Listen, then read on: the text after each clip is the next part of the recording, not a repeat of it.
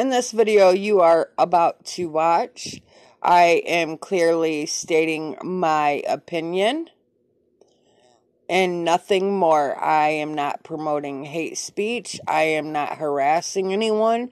And I am not bullying anyone. I am clearly only stating my opinion. And under the Constitution, we have the right to free speech. And that is clearly all I am doing. Nothing more than stating my opinion.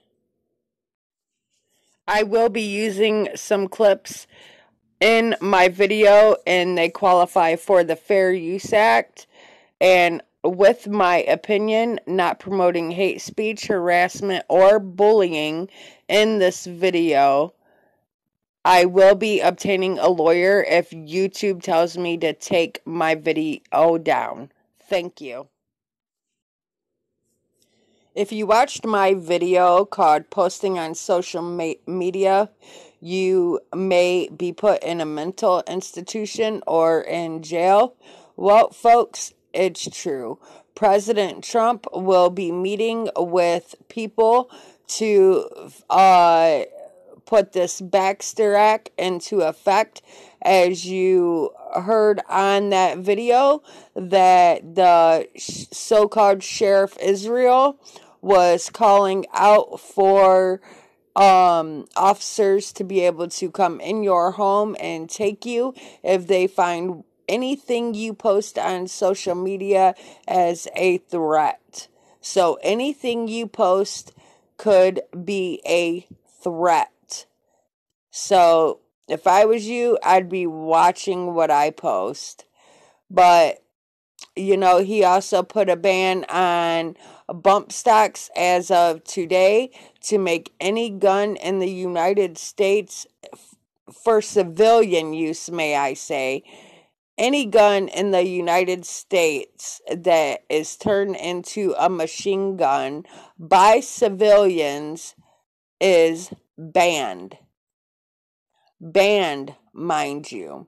I told you guys all this was going to happen, and I told you it was my opinion that all the stuff and you know where happened because of they want to take our guns and they also wanted this law implemented to where they can come in your home and take you out of your home if they find anything that you post a threat. Let's listen to Trump's speech now. This week I'll be holding a number of discussions with students, local leaders, and law enforcement to develop concrete steps that we can take to secure our schools, safeguard our students, and protect our communities. School safety is a top priority for my administration.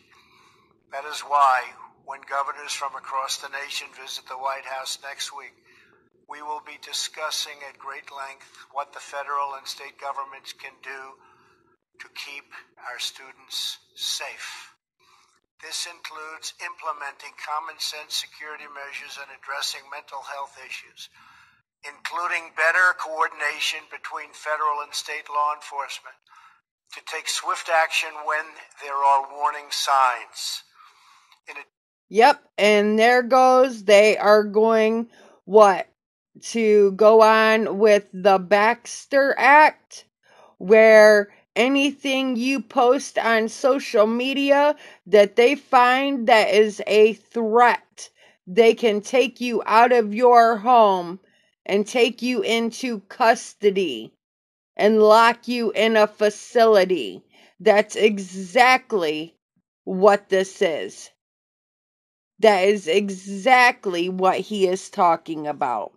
Because as you've seen, the sheriff got up there and said that they needed where police officers can go in and just remove somebody out of their home if they find it threatening.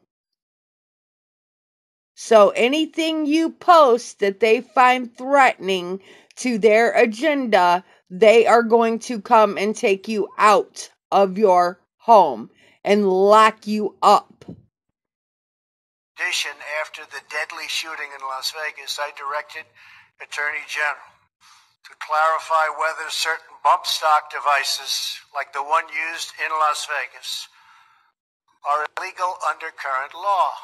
That process began in December, and just a few moments ago, I signed a memorandum directing the Attorney General to propose regulations to ban all devices that turn legal weapons into machine guns. I know, but I'm sure when they run up in our house to take us out of our homes, the people that run up in our homes will have machine guns.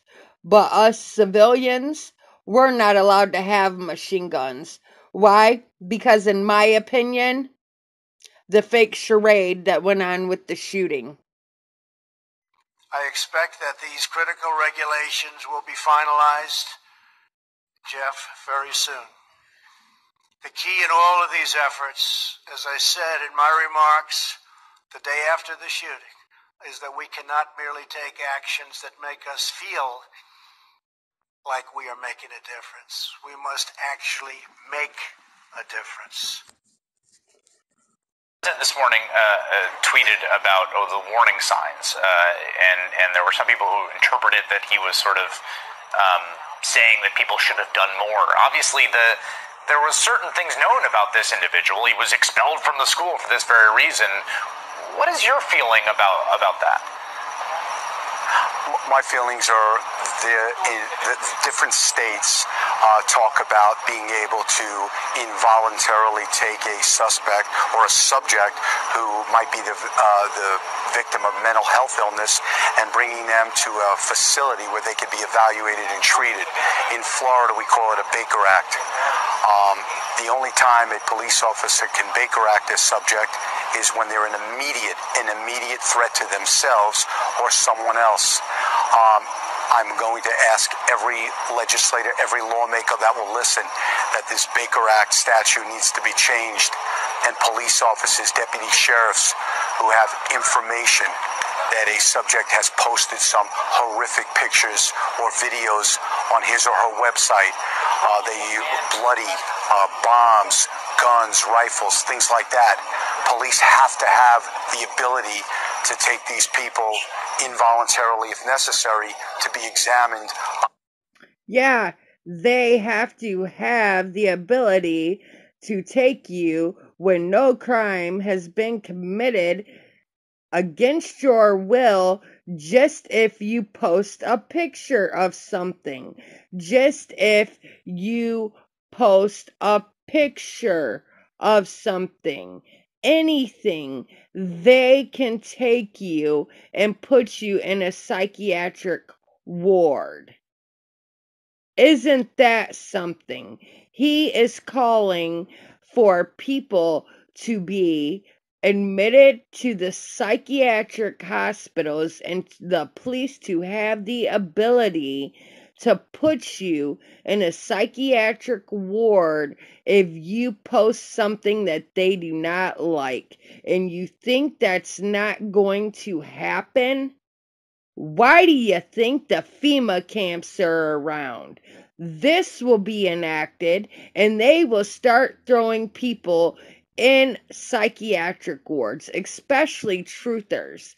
They will be the first to be thrown in these FEMA camps, psychiatric hospitals, whatever you want to call them. Why? Because they don't like what we are posting. So anything you post will be held against you. Now they want to be able to throw you in a psychiatric ward or jail when no crime has been committed. Isn't that something? Yeah. By mental health professionals. Terrorism. President Obama today proposed something new, something called prolonged detention. Doesn't sound that bad, right? Prolonged. Did you ever see the movie Minority Report? It was based on a Philip K. Dick short story. Came out in 2002. It starred Tom Cruise, remember? He played a police officer in something called the Department of Pre-Crime. Pre-crime is where people are arrested and incarcerated to prevent crimes that they have not yet committed. Mr. Marks, my mandate at the District of Columbia Pre-Crime Division. I'm placing you under arrest for the future murder of Sarah Marks and Donald Dubin that was take place today, April 22nd, at 0800 hours and 4 minutes. No, I didn't do anything. You didn't do anything, but you're gonna. Future murder. Creepy, right? Putting somebody in jail not for what they've done, but for what you're very sure they're going to do? There may be a number of people who cannot be prosecuted for past crimes. In some cases, because evidence may be tainted, but who nonetheless pose a threat to the security of the United States. We're not prosecuting them for past crimes, we need to keep them in prison because of our expectation of their future crimes. Al Qaeda terrorists and their affiliates are at war with the United States, and those that we capture, like other prisoners of war, must be prevented from attacking us again. Prevented. We will incarcerate people preventively. Preventive incarceration. Indefinite detention without trial. That's what, that's what this is. That's what President Obama proposed today, if you strip away the euphemisms. One civil liberties advocate told the New York Times today, quote, We've known this was on the horizon for many years, but we were able to hold it off with George Bush. The idea that we might find ourselves fighting with the Obama administration over these powers is really stunning. And it is stunning, particularly to hear President Obama claim the power to keep people in prison indefinitely with no charges against them, no conviction, no sentence, just imprisonment. It's particularly stunning to hear him make that claim in the middle of a speech that was all about the rule of law. But we must do so with an abiding confidence in the rule of law. Our government was defending positions that undermine the rule of law to ensure that they are in line with the rule of law. How can a president speak the kind of poetry that President Obama does about the rule of law and call for the power to indefinitely, preventively imprison people because they might commit crimes in the future? How can those two things coexist in the same man, even in the same speech? Well, that brings us to the self-consciously awkward, embarrassing part of this speech today. After condemning the Bush administration for what he called their ad hoc legal strategy for trying to make things seem legal that patently weren't, this is what President Obama proposed. My administration has begun to reshape the standards that apply to ensure that they are in line with the rule of law. Must have clear, defensible, and lawful standards for those who fall into this category. We must have a thorough process of periodic review so that any prolonged detention is carefully evaluated and justified. Our goal is to construct a legitimate legal framework for the remaining Guantanamo detainees that cannot be transferred. Our goal is not to avoid a legitimate legal framework. In our constitutional system, prolonged detention should not be the decision of any one man. If and when we determine that the United States must hold individuals to keep them from carrying out an act of war, we will do so within a system that involves judicial and congressional oversight. And so going forward, my administration will work with Congress to develop an appropriate legal regime so that our efforts are consistent with our values and our Constitution. You'll construct a legal regime to make indefinite detention legal. You will, what does he say? Develop an appropriate legal regime. So you can construct a whole new system outside the courts, even outside the military commissions, so that you can indefinitely imprison people without charges. And you'll build that system from scratch. What's that somebody said about ad hoc legal strategies? Just for context here, in the United Kingdom, where there isn't even a Bill of Rights, there's been a major debate about whether people can be held in preventive detention. Former British Prime Minister Tony Blair wanted three months to be the outer limit for how long anyone could be held. There was a big political fight about it. Parliament ended up limiting that power to 28 days. 28 days is still the longest period of preventive detention that's allowed under law in any comparable democracy anywhere in the world. How long would President Obama's proposed preventive indefinite detention last? Well, he's not saying yet, but here's how he defines the threat that he says makes indefinite detention necessary. Right now, in distant training camps and in crowded cities, there are people plotting to take American lives. That will be the case a year from now, five years from now, and in all probability, 10 years from now. 10 years from now. So you could get arrested today and locked up without a trial, without being convicted, without being sentenced for, say, 10 years until the threat of your future criminal behavior passes. Prolonged detention, he's calling it. This was a beautiful speech from President Obama today with patriotic, moving, even poetic language about the rule of law and the Constitution, and one of the most radical proposals for defying the Constitution. Does the government work for us or do we work for the government? When times are tough and the government is confronted with the profound conflict of individual freedom versus the power of the state, can it simply ignore the Constitution? Tonight, freedom, the Constitution, and you. When we were colonists of the King of England, our economy was doing quite well. Many of the most successful business entrepreneurs actually came here in order to start businesses free from the regulations and taxes that had been imposed upon them in Great Britain. Soon the king and his ministers realized how well our forefathers were doing here, so they persuaded Parliament to begin to tax the colonists and to regulate them. Many industries here were sending tax dollars there, and eventually the British ministers in England were telling businessmen in the colonies how and with whom to do business. Everyone remembers the battle cry that the pamphleteers and editorial writers of the day used so effectively. Taxation without representation is tyranny. So we fought a revolution. We won the revolution. We wrote a constitution. And in the Constitution, the framers wrote safeguards to assure that the new government here could not do to Americans what the British king and the Parliament had done to the colonists. British soldiers had author, were authorized to write their own search warrants, for example. So the framers prohibited that in the Fourth Amendment, which states that only judges can issue search warrants, and they may only do so when the government presents evidence to them of a crime.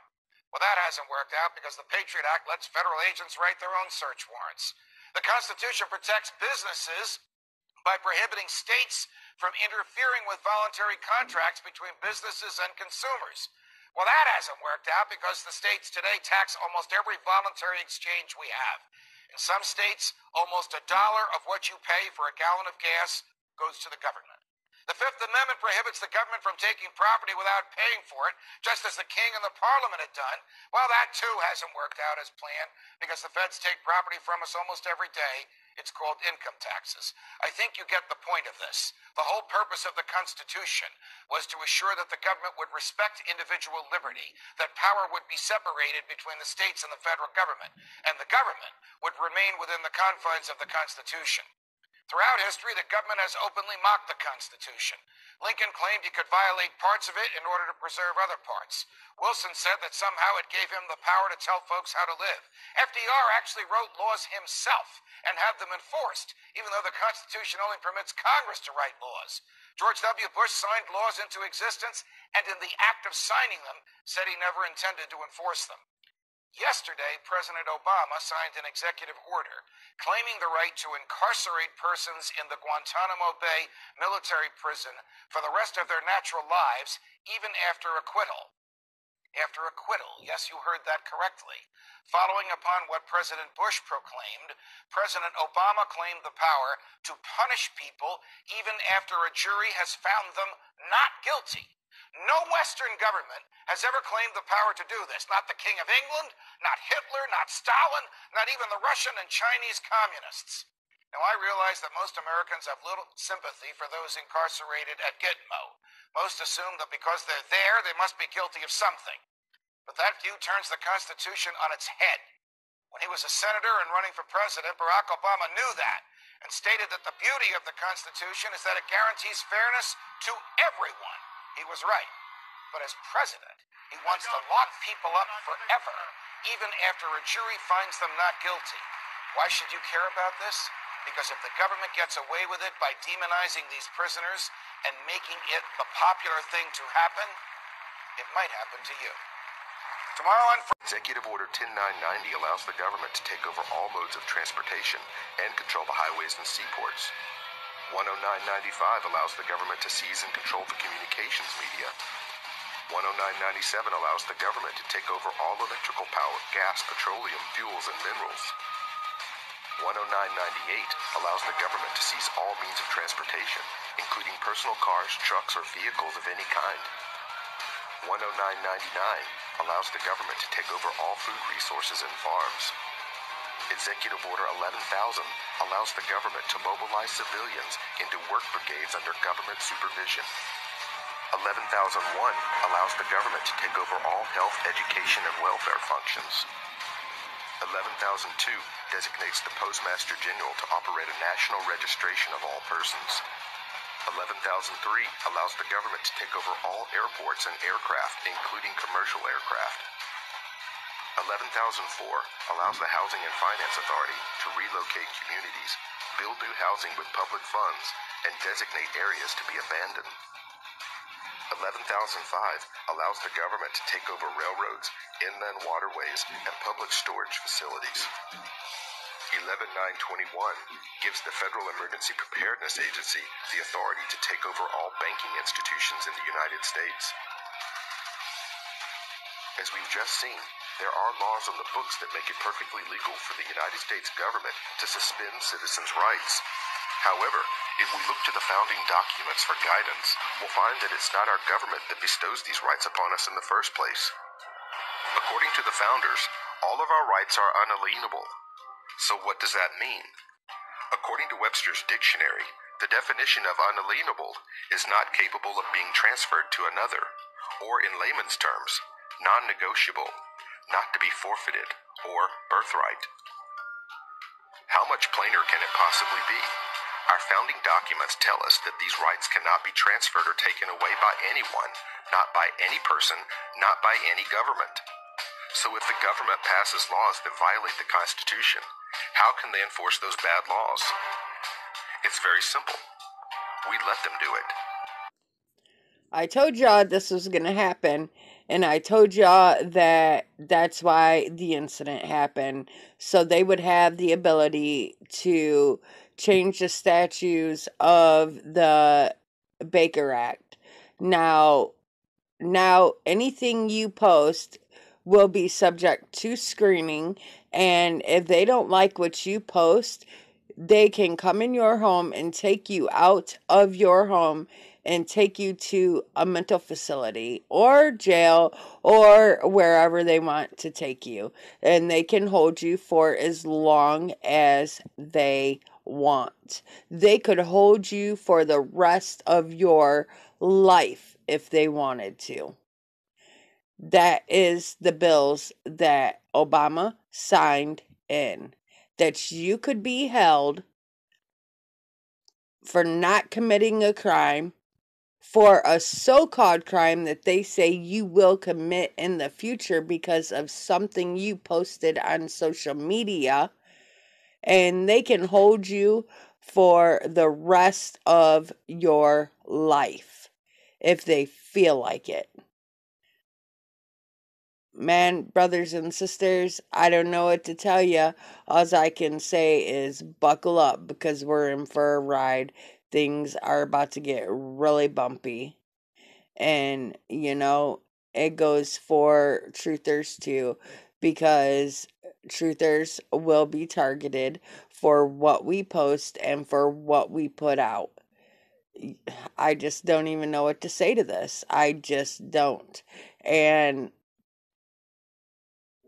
you know, uh, for Trump to change the statue and for him to ban these uh bump stocks you know, it's just ridiculous. And then he's wanting to cut off food stamps to people that really need them. Or may I say, not cut them off, but make them feel even lower than what they already feel. He is wanting to send them blue apron boxes where they get no fresh meat, they get no fresh vegetables, they get no fresh fruit. Everything is in cans down to their meat. They get milk that you do not refrigerate that is in a bag. Do you know how low and dirty that is? So you're telling me only people that can afford to pay with cash will get to eat real meat, will get to drink real milk, will get real fruits and vegetables because this is the program that Trump is wanting to put in. What about the people that have medical needs that cannot eat that stuff that is in all cans.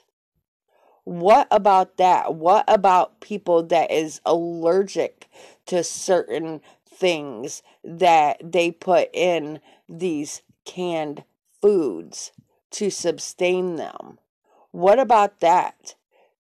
You know, this is the lowest thing that anybody has done people that can't afford food is on food stamps for a reason. And for you, for Trump, may I say, to go and try to put these people on food that basically a dog won't eat is a doggone shame. I will say that. That is low down and dirty, if you ask me. That is really low. I cannot believe that. These people are going to feel even worse than what they already do. Do you know how bad people feel to have to even ask for help in the first place? Then he wants to make them feel like shit even more. You know, yeah, this is my opinion, and I can express my opinion. I am not harassing and I am not bullying anybody. I just think it is really low for him to do that. So you're telling me you would feed your child this meat that comes in a can that has probably sat in this can for years. You're telling me you would feed your child with all this canned crap? Because that's basically what it is. It's shelf sustainable food that will last for years. It is garbage. These people are on food stamps for a reason because they can't afford food, real food. Now he's going to make them feel like shit even more by putting them on a program where they get canned meat, where they can't even eat real food. I don't know, folks. I just think America has totally went to crap. I really, honestly do. You know, Mr. Trump, if you ever listen to this video, I want you to eat the canned meat. I want you to drink the bagged milk. I want you to eat what you're trying to give these people to eat. I bet you won't. But you're trying to make these people feel even worse than what they already do? How low can a rich man get? Really, how low can a rich man get?